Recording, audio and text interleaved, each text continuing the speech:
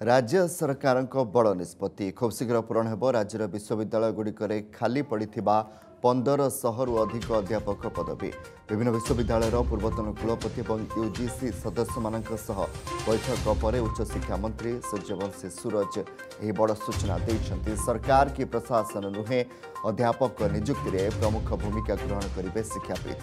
ରାଜ୍ୟର ବିଶ୍ୱବିଦ୍ୟାଳୟରେ ଖାଲି ପଡ଼ିଥିବା ଅଧ୍ୟାପକ ପଦବୀ ପୂରଣ ପାଇଁ ଗତକାଲି ଏକ ଗୁରୁତ୍ୱପୂର୍ଣ୍ଣ ବୈଠକ ବସିଥିଲା ଯେଉଁଥିରେ ରାଜ୍ୟ ଉଚ୍ଚଶିକ୍ଷା ମନ୍ତ୍ରୀ ଆଇନ ମନ୍ତ୍ରୀ ଏବଂ ସଂସଦୀୟ ବ୍ୟାପାର ମନ୍ତ୍ରୀଙ୍କ ସମେତ ବିଭିନ୍ନ ବିଶ୍ୱବିଦ୍ୟାଳୟର ପୂର୍ବତନ କୁଳପତି ଏବଂ ୟୁଜିସି ସଦସ୍ୟ ଯୋଗ ଦେଇଥିଲେ। ରାଜ୍ୟର ବିଶ୍ୱବିଦ୍ୟାଳୟଗୁଡ଼ିକରେ ଖାଲି ଥିବା ଅଧ୍ୟାପକ ପଦ କେମିତି ପୂରଣ କରାଯାଇପାରିବ ସେ ନେଇ ବୈଠକରେ ଆଲୋଚନା କରାଯାଇଥିଲା। ବୈଠକ ପରେ ଉଚ୍ଚଶିକ୍ଷା ମନ୍ତ୍ରୀ ସୂଚନା ଦେଇଛନ୍ତି ଦୁଇହଜାର କୋଡ଼ିଏରେ ବିଜେଡି ସରକାର ଆଣିଥିବା ଓଡ଼ିଶା ବିଶ୍ୱବିଦ୍ୟାଳୟ ଆଇନ ସଂଶୋଧନ ଅଧିନିୟମ ଫଳରେ ବିଶ୍ୱବିଦ୍ୟାଳୟଗୁଡ଼ିକର ସ୍ୱାୟତ୍ତତା ଉପରେ ପ୍ରଶ୍ନବାଚୀ ସୃଷ୍ଟି ହୋଇଥିଲା। ଏଥିରେ ସୁଧାର ଆଣିବେ ବିଜେପି ସରକାର। ୟୁଜିସି ନିୟମାବଳୀକୁ ଆଧାର କରି ଶିକ୍ଷାବିତ୍ଙ୍କ ପରାମର୍ଶକୁ ଗ୍ରହଣ କରି ଏମିତି ଏକ ନୀତି ନିର୍ଦ୍ଧାରଣ କରାଯିବ ଯାହାଫଳରେ ଆଗାମୀ ଦିନରେ ଓଡ଼ିଶାର ଶିକ୍ଷା ବ୍ୟବସ୍ଥା ଅଧିକ ମଜବୁତ ହୋଇପାରିବ।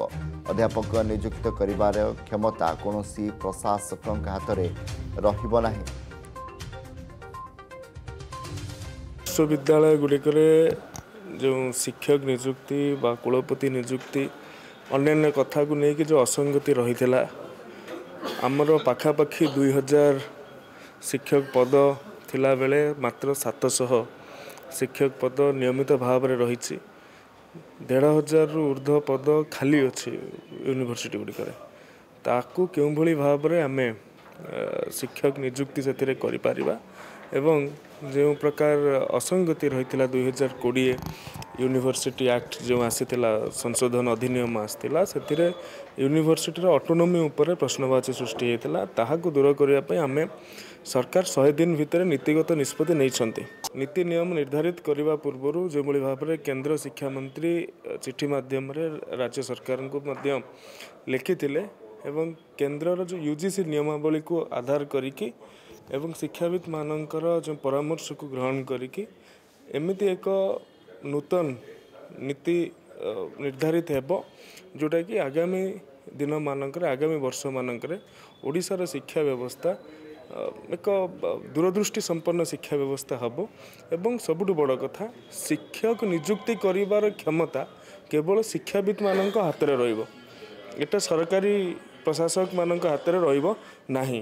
ଏ କଥାଟିକୁ ଆମେ ଗୁରୁତ୍ୱର ସହିତ ବିଚାର କରୁଛୁ ଏବଂ ସେହି ଦିଗରେ କାମ ଆଗକୁ କରୁଛୁ ସରକାର ରାଜି ହେଇଛନ୍ତି ପୁଣି ସ୍ୱାୟତ୍ତତାଟା ବିଶ୍ୱବିଦ୍ୟାଳୟ ହାତକୁ ଦେଇଦେବେ ତେଣୁ ସେଇଟା ଗୋଟେ ସ୍ୱାଗତଯୋଗ୍ୟ ପଦକ୍ଷେପ କାରଣ ଶିକ୍ଷକ ନିଯୁକ୍ତି ହେଉ ବା ଅନ୍ୟାନ୍ୟ ସ- ଶୈକ୍ଷିକ ବିଷୟ ହେଉ ଯେଉଁଥିରେ କି ଏତେ ଇଣ୍ଟରଫିୟରେନ୍ସ ଆଉ ରହିବନି ବିଶ୍ୱବିଦ୍ୟାଳୟ ସ୍ତରରେ ତା ଉପରେ ନିଷ୍ପତ୍ତି ନେଇହେବ ସେଥିପାଇଁ ଏଇଟା ଗୋଟେ ସ୍ୱାଗତଯୋଗ୍ୟ ପଦକ୍ଷେପ ଆଉ ମୁଁ ବହୁତ ଖୁସି ହେବି ଆମ ପ୍ରଦେଶରେ ଯଦି ଏଇ ଦୁଇଟା ପିଲରକୁ ଷ୍ଟ୍ରେନ୍ଥେନ୍ କରାଯାଏ ହାୟର ଏଜୁକେସନର ବିକାଶ ନିଶ୍ଚିତ ଭାବରେ ଘଟିବ ଆଜି ଯେଉଁ ମିଟିଂଟା ହେଲା ସେଇ ଦିଗରେ ଆମେ ଚର୍ଚ୍ଚା କଲୁ ମୋର ବିଶ୍ୱାସ ଯେ ଶିକ୍ଷା ବିଭାଗରେ ପୂର୍ଣ୍ଣ ସ୍ୱାଧୀନତା ଆସିବ ଆଉ ଆମର ଓଡ଼ିଶାର ପିଲାମାନେ ସମସ୍ତେ ଏହି ପ୍ରକାର ସ୍ୱାଧୀନତା ପାଇବେ ଆଉ ତାଙ୍କର ଶିକ୍ଷା ଆଉ ତାଙ୍କର ଯେତେବେଳେ ସ୍କିଲ୍ ଡେଭଲପମେଣ୍ଟ ସବୁଥିରେ ବିକାଶ ଘଟିବ